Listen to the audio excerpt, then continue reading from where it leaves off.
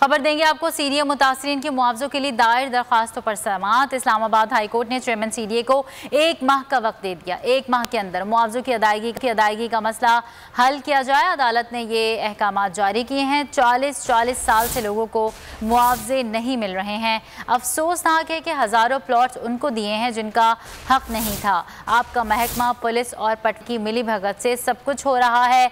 मुआवजा market rate के मुताबिक ही दिया जाएगा। जस्टिस अथर मिनुल्लाह ने ये रिमार्क्स दिए हैं। आपको आगाह कर रहे हैं सी डी ए मुतासरीन के मुआवजों के लिए दायर दरखास्तों पर समात हुई।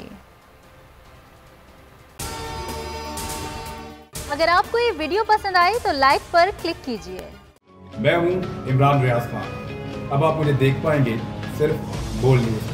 इमरान रियाज खान साहब जो हैं वो बोल फैमिली का हिस्सा बन गए हैं। बड़े अरसे बाद किसी चैनल ने हौसला किया है तो मुझे ऐसा लगता था कि हमें बोलने की इजाज़त नहीं मिलेगी। लेकिन बोल ने डिसाइड किया कि बोलने की इजाज़त वो लेकर देंगे। मुझे बोल की एक चीज़ बहुत अच्छी लगी कि बोल ने कैटेगोरिकली कहा कि जो करना है करो हमने अपना कोई बंदा नहीं निकालना।